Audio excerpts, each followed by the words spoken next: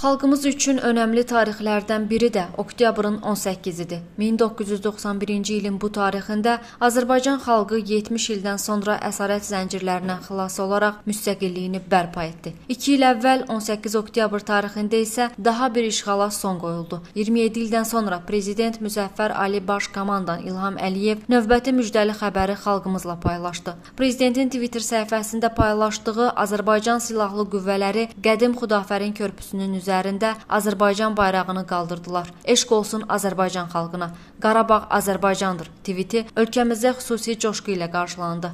Xudafərinə gedən yolun üzərindəki Sultanlı Əmirvarlı istiqamətində mövqeylənmiş düşmən qüvvələrinin 3 qatlı səddini yarmaq və buradan Zəngilan və Qubadlı rayonlarına gedən yolu açmaq tapşırığı da sərhəd xidmətinin xüsusi təyinatlılarına verilmişdi. Əməliyyatın gedişi barədə xüsusi təyinatlılar danışır.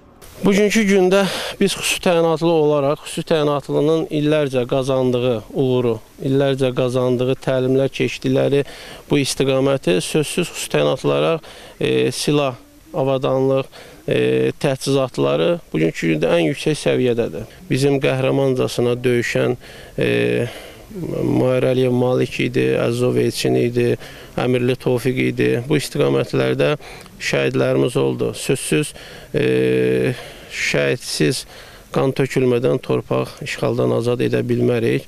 Bacardığımız qədər bizim e, rəhbərlərimiz tərəfindən dayanıqlı rabitələrimizin idarə olunması əsasında bizim itkilərimiz e, demək olar şəhidlərimiz bu istiqamətdə az oldu. Gördüyünüz bu istiqamət e, Cəbrayıl rayonunun e, Çavdar, Mirək kəndi istiqamətində düşmənin 3-cü səddən yerləşdiyi ərazidir. Bu 3-cü e, sədd Araz boyundan e, Cəbrayıl rayonunun Əmirvarlı kəndi istiqamətinə başlayaraq Cəbrayıl rayonunun yuxarı hissəsində olan asız yüksəklərə doğru e, irəliləyir. Üçüncü sədd. Üçüncü səddin mahiyyəti əsasən düşmənin e, arxada olan digər ehtiyat hərbi hissələrinin, digər silah sursatının, texnikalarının daha çox cəmləşdiyi eşelon olur ki, e, bu daha çox birinci, ikinci səddə nisbətən daha gücləndirilmiş formada e, xidmət aparılır. Burada əsas üçüncü səddin əsas məqsədi irəliləyən e, bölmələrin qarşısını almaq üçün yaradılır üçüncü sədd. Müharibənin ilk günlərində e, düşmənin birinci, ikinci səddə yaralmışdı, amma birinci, ikinci səddə nisbətən üçüncü səddə düşmən e, biraz daha müqavimət göstərdi. Amma buna baxmayaraq bizim qüvvələrin döyüş qabiliyyəti, döyüş hazırlığı və torpaqlarımızın azad olunması uğrunda əzmi, fədakarlığı sayəsində biz düşmənin 3-cü səddən yarmağa e, qadir olduq. Düşmən əsasən 3-cü səddə texnikanın və cəmlənmiş heyətin e, hücumunu gözləyirdi, amma biz e, ərazinin kəşfini apardıqdan sonra belə başa düşdük ki, düşmən bizi kiçik qruplar halında gözləmir. Biz ərazilər seçərək, ərazinin relyefinə istifadə edərək, sızma əməliyyatı ilə kiçikli qruplar halında düşmənin 3-cü səddinə e, yaxınlaşdıq və düşmən səngərinə daxil olduq. Düşmən bizi e, səngərində gördükdə artıq onlar üçün gec idi. Biz düşmənin bu səddə e, bir çox heyətə məhv elədik, bir çox heyətə gördüyünüz bu istiqamətdən Qubadlı rayon istiqamətinə doğru qaçıb getdilər. Bizim əsas tapşırığımız 3-cü səddə düşmənə Qubadlı rayonundan gələn yolun, təminat yolunun bağlanması, nəzarət altına salınması, daha sonra Araz boyunda Əmirvarlı kəndinə doğru hərəkət edib, orada qalan düşmənin müqavimətini qırmaq.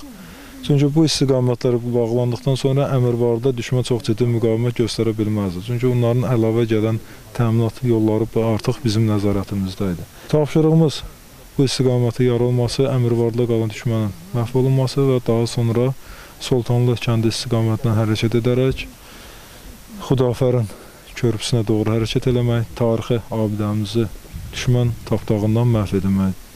Cəbrayıl rayonundakı Xudafərin körpüsünə yollanaraq tarixi qələbəyə imza atan Dövlət Sərhəd Xidmətinin bir neçə hərbi qulluqçusu ilə məhz Xudafərin körpüsünün yanında həmsöhbət olduq. Hər bir qarış-qarış ərazilərdə düşmənlə təmas olaraq, düşmən təmizlənərək, məhv olunaraq artıq Xudafərin körpüsünün e, istiqamətini irəlilədik. Müəyyən bir məsafədə gözlədik. Sonra isə artıq e, yoxlamalar, e, arama tarama işləmələri getməli idi. Ərazidə qrup şəklində irəlilədik və e, Xudafərin körpüsü istiqamətində daha da dərinə, daha içəri sızmağa başladıq. Burada bütün ərazilərdə gördüyünüz bütün strateji yüksəklərdə düşmənlər var idi. Bizim o biri qruplarımız artıq strateji yüksəklərdə bütün düşmənləri məhv etmişdi.